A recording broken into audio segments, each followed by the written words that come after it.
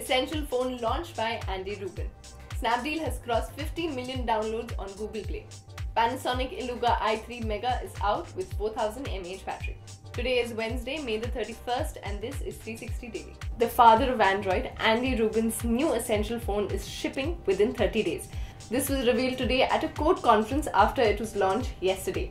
The Essential phone looks quite futuristic with its edge to edge display and it also supports modular attachments. The price starts roughly at 45,200 rupees and if you want to throw in a 360 degree camera attachment, you'll get it for about 48,400 rupees. Now if you want more details, you know where to log on to gadgets360.com and also the phone is up for pre-orders in US only. You can always ask your cousins for that. Snapdeal has crossed 50 million downloads on Google Play. Rajiv Mangla, the CTO of Snapdeal, says that more users are seeing value in the experience we provide. Over the past few months, Snapdeal has continuously worked on its user experience to make their features more relevant and faster. Yesterday, Snapdeal received a fresh set of funds of over 113 crores.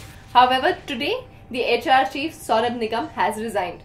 All the details that are coming in from all directions are quite confusing. We just have to see how Snapdeal unboxes.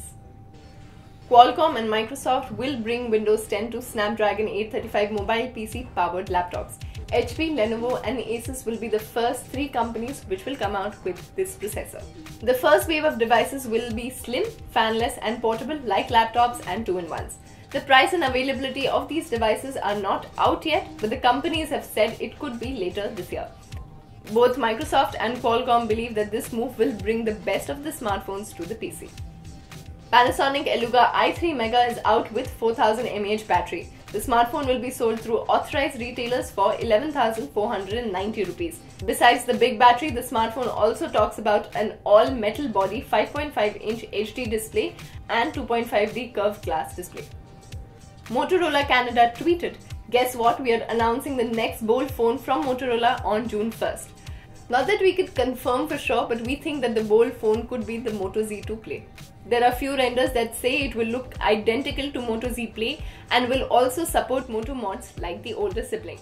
Back home, Yu Yureka Black is also expected to launch tomorrow as a Flipkart exclusive.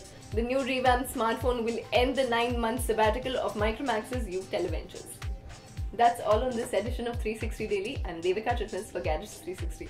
For all things tech, don't forget to log on to gadgets360.com.